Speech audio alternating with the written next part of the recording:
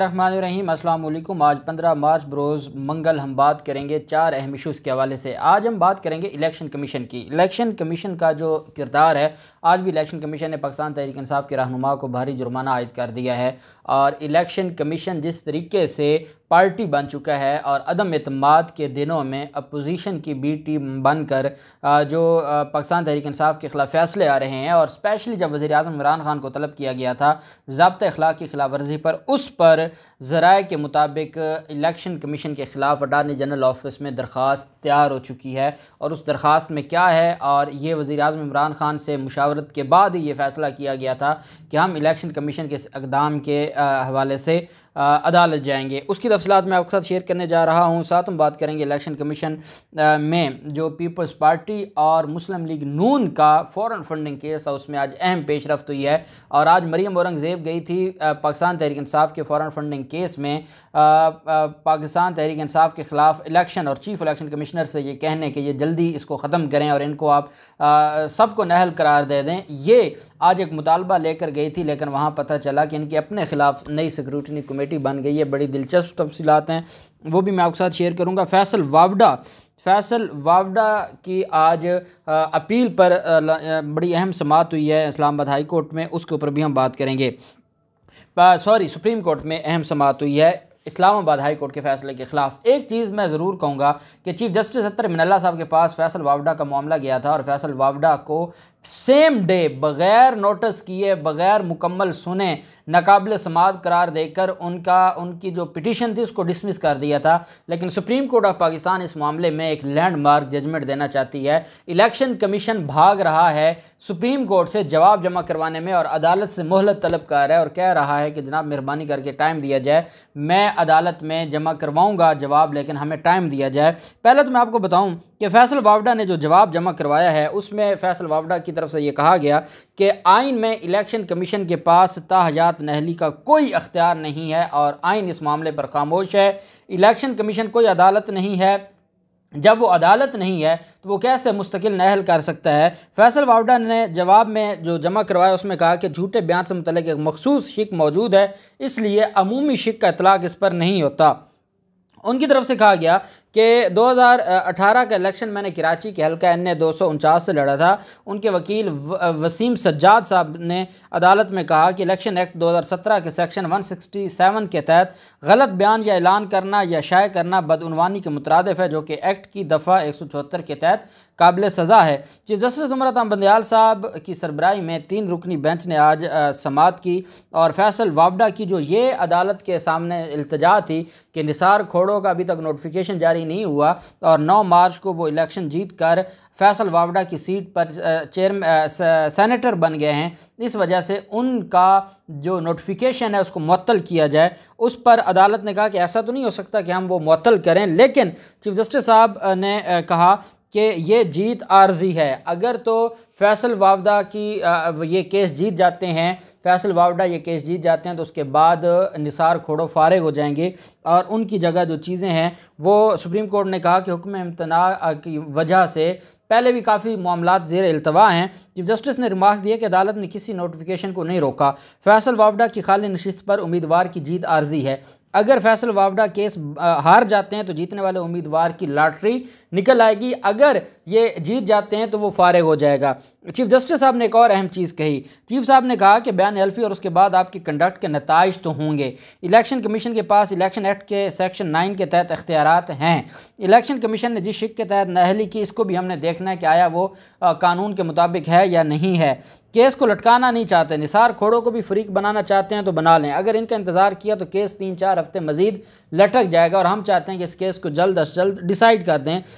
सात अदालत ने इस केस की समात अप्रैल के पहले हफ़्ते के लिए मुलतवी करते हुए इलेक्शन कमीशन को कहा कि वो जवाब जमा करवाए। इलेक्शन कमीशन ने अदालत से कहा था कि हमें थोड़ा सा टाइम दे, हम जवाब जमा करवाएँगे। इलेक्शन कमीशन को जवाब जमा करवाने की आखिरी मोहलत देते हुए अप्रैल के पहला हफ़्ता मुकर किया है। दूसरी तरफ़ आज इलेक्शन कमीशन में ही जो पाकिस्तान पीपल्स पार्टी की रहनुमा हैं, फ़रयाल तालपुर, उनकी नहली का केस था और उस पर आज जो अदालत ने चीफ इलेक्शन कमिश्नर ने फैसला महफूज किया है। फ़रयाल तालपुर नहली केस में ये छः अक्टूबर 2019 को स्पीकर के पास नहली रेफरेंस दायर किया गया था। मेंबर कमीशन ने कहा कि स्पीकर को इलेक्शन कमीशन ने हदायत की, तब रूलिंग जारी की गई। स्पीकर सिंध असम्बली ने किस बुनियाद पर पिछली तारीखों में फ़ैसला किया? वकील फ़रयाल तालपुर ने बताया कि सवाल का जवाब स्पीकर सिंध ही दे सकते हैं। असास ज़ाहिर ना करने का केस इलेक्शन कमीशन नहीं सुन, सुन सकता। पीटीआई के वकील ने कहा कि स्पीकर ने जब रेफरेंस भिजवा दिया तो अब इलेक्शन कमीशन का ही दायर अख्तियार है। इलेक्शन कमीशन ने कहा कि दोनों, पीटीआई के वकला की भी आर्गूमेंट्स मुकम्मल हो गए और पाकिस्तान पीपल्स पार्टी और फरयाल तालपुर के वकला के भी आज आर्गूमेंट्स मुकम्मल हुए। छः अप्रैल को उनकी नहली केस में फ़ैसला सुनाया जाएगा। फरयाल तालपुर की नहली केस पर छः जून छः अप्रैल को फ़ैसला सुनाया जाएगा। इलेक्शन कमीशन की तरफ़ से और इलेक्शन कमीशन इन सारे मामला को देखेगा। पाकिस्तान पीपल्स पार्टी का जो मामला है और पाकिस्तान पीपल्स पार्टी और नून लीग का जो स्क्रूटनी कमेटी जिसमें कमेटी की तश्कील नहीं हो रही थी ये चीज़ मुझे इस वजह से दुख पहुँचता है बतौर कानून के तालब इम कि जब केस था उसमें तीन पार्टियाँ थीं, पीटीआई के ख़िलाफ़ भी था और साथ बाद में फ़ाइल हो गया पाकिस्तान पीपल्स पार्टी और नून लीग के ख़िलाफ़ भी। अब होना तो ये चाहिए था कि ये तीनों सियासी जमातें एक दूसरे के ख़िलाफ़ केस था, इन तीनों का स्क्रूटनी कमेटी की रिपोर्ट इकट्ठी आती। जिस जमात के चालीस हज़ार डोनर्स की तफसीलात इलेक्शन कमीशन में जमा करवाई गई स्क्रूटनी कमेटी ने, वो तो रिपोर्ट मुकम्मल कर ली। जिनकी चौदह एक के जमात नून लीग के चौदह अकाउंट्स हैं, पाकिस्तान पीपल्स पार्टी के नौ अकाउंट्स हैं, जिनके सिर्फ़ चौदह और नौ अकाउंट्स हैं उस पर स्क्रूटनी कमेटी और इलेक्शन कमीशन अभी तक जवाब जमा नहीं करवाया। और इलेक्शन कमीशन और चीफ इलेक्शन कमिश्नर साहब आज फॉरेन फंडिंग केस में पाकिस्तान तहरीक इंसाफ को कहते हैं कि ये केस हम मजीद अल्तवा का शिकार नहीं होने देंगे। इस वजह से नहीं होने देंगे कि मरीम औरंगज़ेब खुद गई हुई थी और उसने मरीम नवाज़ को रिपोर्ट देनी थी। अब इलेक्शन कमीशन पीटीआई को तो टाइम नहीं देना चाहती और अपोजिशन का जो मुतालबा है उसको मानते हुए पीटीआई क्या जो फॉरेन फंडिंग केस है उसको डिसाइड करना चाहती है। पहले उनकी मान के पाकिस्तान तहरीक इंसाफ के जो डोनर्स हैं उनकी इन्फॉर्मेशन पब्लिक कर दी और फिर उसके बाद जो उन्होंने झूठ चलाया जियो जंग के ज़रिए और एक सर्वे आया जिसमें यह कहा गया कि जो बैरून मुल्क पाकिस्तानी हैं, उन्होंने कहा कि हमने तो शौकत खानम के लिए दिया था, हमने तो पीटीआई के लिए नहीं दिए थे फंड्स उस पर फिर इनके जियो जंग के खिलाफ लंदन में भी मुकदमे दर्ज हो गए और जद के केस चल पड़े और लीगल नोटिस जारी हो गए पाकिस्तान के अंदर से भी और पाकिस्तान के बाहर से भी। अब वही मरियम औरंगज़ेब पहुँची थी कि जनाब मेहरबानी करें और इसको जल्दी अदम अतमाद से पहले ही पीटीआई के फ़ौरन फंड ने केस में इनके ख़िलाफ़ करके, इनको नहल करके पूरी जमात को उड़ा के रख दें। ये ख्वाहिश लेकर गई थी, लेकिन एक पीटीआई के जो फ़रोख हबीब हैं वफाकी वज़ीर ममलिकत हैं, वो इस मामले को अच्छे तरीके से लेकर चल रहे हैं। उन्होंने ज़ोर दिया हुआ था कि स्क्रूटनी कमेटी तश्कील दी जाए, जो पीपल्स पार्टी और नून लीग का मामला पेंडिंग पड़ा है, वो जल्द अज जल्द पहले रिज़ाइन हो गया स्क्रूटनी कमेटी टूट गई, क्योंकि इनकी बारी तो बेंच टूट जाते हैं इनकी बारी तो जज छुट्टी पर चले जाते हैं इनकी बारी तो केस सुनने नहीं जाते। तो ये तो इलेक्शन कमीशन था। स्क्रूटनी कमेटी टूट गई नई चार रुकनी स्क्रूटनी कमेटी आज आ, उसकी सरबराही डीजी ला मोहम्मद अरशद करेंगे। और इसमें additional secretary admin Manzoor Akhtar Malik DG political finance wing Masood Akhtar Sherwani और ऑडिटर जनरल के नुमाइंदे खुरम रज़ा कुरैशी। ये चार रुकनी स्क्रूटनी कमेटी बना दी गई है और ये सारे मामला को देखेंगे। उसके बाद मुस्लिम लीग नूर पाकिस्तान पीपल्स पार्टी और सियासी जमातों के जो मामला हैं, उन पर अदालत में ये देखा जाएगा कि जो इनका फ़ॉरन फंडिंग साबित होता है या नहीं होता इलेक्शन कमीशन ने Tehreek Insaf foreign funding case से दरख्वास्त गुजार अकबर एस बाबर को अलग करने का जो मामला था, उस पर पी टी आई की दरख्वास्त पर फैसला महफूज किया है। चीफ इलेक्शन कमिश्नर की सरबराही में तीन रुकनी जो बेंच है, उसने आज समात की है और अनवर मंसूर खान साहब और शाह खावर साहब वकील हैं। अदालत ने कहा है कि इन सारी चीज़ों को हम देख रहे हैं और जो अदालत ने कहा इलेक्शन कमीशन की तरफ़ से पाकिस्तान तहरीक इंसाफ की तरफ़ से इलेक्शन कमीशन को कहा गया था कि हम इस मामले मामले पर हमें एक हफ़्ते का टाइम दिया जाए।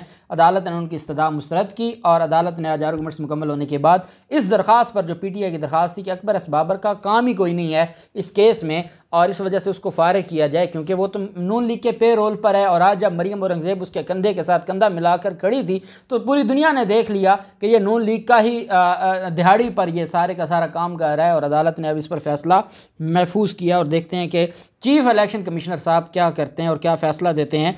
साथ इलेक्शन कमीशन ने आज़म सवाती पर पचास हज़ार रुपये का जुर्माना आयद कर दिया है और आज़म सवाती के ख़िलाफ़ जो इल्ज़ाम था इलेक्शन कमीशन के मुताबिक district monitoring officer Mansehra Hayatullah Jan Marwat ने वफाकी वज़ीर पर यह जुर्माना आयद किया है। डी एम ओ के मुताबिक आज़म समाती दोबारा खिलाफ वर्जी के मरतकब हुए तो केस इलेक्शन कमीशन को कार्रवाई के लिए भिजवाया जाएगा।